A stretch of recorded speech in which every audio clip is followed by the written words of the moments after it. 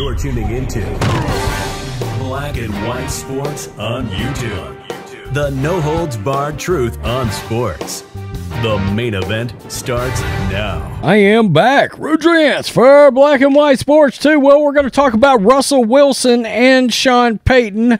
Sean Payton has fired a rather playful but interesting shot at Russell Wilson. I mean, we're going to we're going to keep a watch on Sean Payton and Russell Wilson because I think it's going to be an extremely interesting and uh, complicated relationship this season. I think things got the volume got turned up on 10 the moment that Sean Payton said, "No, nah, you're not bringing your entourage into our facility.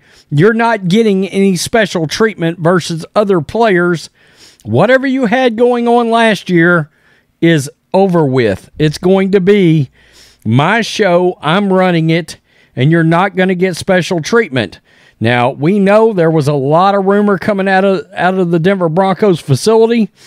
Uh, some teammates evidently weren't too happy with some of the uh, perks that Russell Wilson was getting around the facility. Well, in case you didn't realize, Russell Wilson did wreck his golf cart uh, recently, and that was not lost on Sean Payton whatsoever.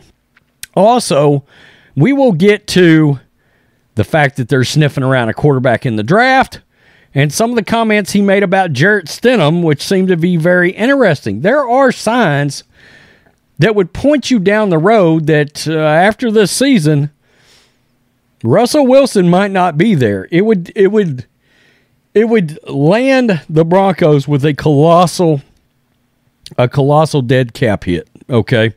But there's a chance that he goes to the Walmart ownership and look, they just they literally made the 35 million that they would lose on dead cap money in the time it's taken taken for me to record um, exactly 2 minutes of this video. Okay? So they're not going to care. All right. Um, and we're going to get to the absurdity that all of a sudden Will Levis is shooting up the betting ranks to be the number one overall pick in the draft. What? Yeah. Also, make sure you like, comment, subscribe. You know the drill. Check us out on podcast. Wherever you get your podcasting from, make sure you go over and subscribe. Peyton, uh, Sean Payton, that is. Sean Payton learned a lot. Who is this? Is this Florio? Yeah, it's Florio. Sean Payton learned a lot from Bill Parcells, among many substantive.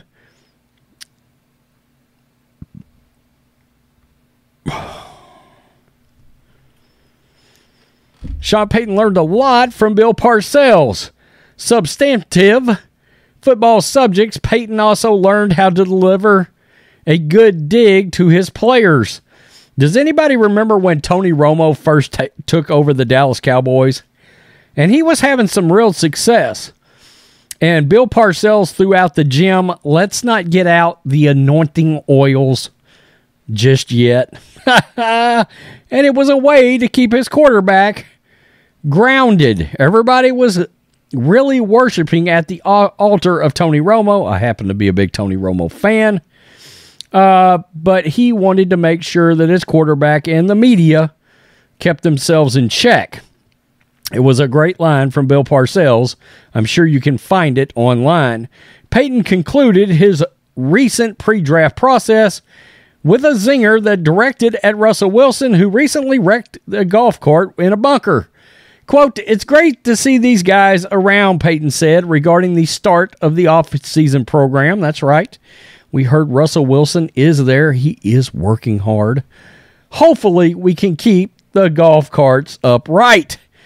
So, just a little playful jab, but it's also letting you know Sean Payton is paying attention to every little thing that is going on involving his quarterback.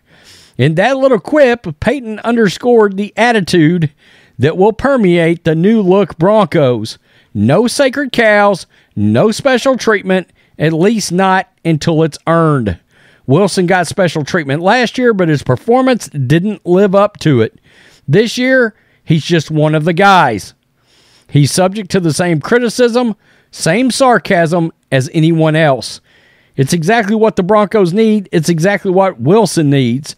And if and when he plays the way the Broncos expected last year, maybe he'll get special treatment again. Now, I've been pretty vocal about the fact that I think Russell could have a bounce back season. But will it be a bounce back season enough to keep his job going after this year? Look, I expect some mar- market improvement versus what he just did last year. I do. But whether or not it's it, it has a franchise quarterback look or it's what Sean Payton wants from a franchise quarterback, that's going to be a different question. Okay? Part of me uh, part of me right now and I'll, I'll be honest, part of me believes Sean Payton is already out on Russell. You know, because uh, recently we had uh, statements from a, a, former Sean Payton player, and I, I, did a video on it. And now, for some reason, I can't remember who it was. Oh, it was uh, Keyshawn Johnson, who played under Payton with the Dallas Cowboys. And he just come out and said, Russell's going to have to perform. He's going to have to excel, or he's not going to keep his job under Sean Payton. So let's get to this because this is what he said about Jarrett Stidham. They signed him as supposedly the backup. Okay? But it's clear there's something there that, that, that Sean Payton likes about Jarrett Stidham. Quote, I think he's young. Okay. But I think he's someone that we had a good grade on coming out. Coming out in the draft. Payton liked him. He liked Patrick Mahomes, too, by the way. Payton set up Stidham. We liked the player. I think he played well in the two starts he had last season. If you study closely, the 49ers game, he's smart at the line of scrimmage. There were a couple of directions, really, with that position. There were a handful of number twos that either I had worked with or felt comfortable with. But in this case, I think it's a number two where the, his arrow is moving in a direction, and this is a key moving in a direction where we feel like he can become an NFL starter in our league. So the evaluation was pretty crystal clear for all of us. Payton continued, I think he's someone that's going to be great in the room. He's smart. And so quietly, that was an important signing for us. Very interesting comments indeed. And yet another way to put Russell Wilson on high alert. I think I think Payton expects Russell to excel and he wants an uncomfortableness while Russell is operating day in and day out. Look, you better be on your toes, you better perform or you won't have a job. And he's saying right here, he thinks Jarrett Stidham could end up being a starter. What does that tell you? That that also means I think I can work with him enough he can become a starter. Uh, so now Peter King has come out, and the Broncos, and and we all know Peter Peter King's an all timer with the um, in NFL journalism, right? Well, he works for NBC Sports now. He used to be with SI back in the day, back in the old days. Uh, but uh, Peter King has just come out and said the Broncos are circling a quarterback in this draft, and they've already pinpointed one. The Denver Broncos may be in the quarterback market during the upcoming NFL draft, according to NBC Sports' Peter King. After dealing their first and second round picks to Seattle in a trade for Russell Wilson last year, the Broncos' first selections come in the third rounds at 67 and 68. And that's where King expects the organization to possibly take a quarterback, namely Purdue's Aidan O'Connell. King believes the organization will, quote, sniff around the 24 year old signal caller. Denver has already bolstered the depth behind Wilson, who signed a five year, $242 million contract that runs through 2028. My God, there's some bad quarterback contracts.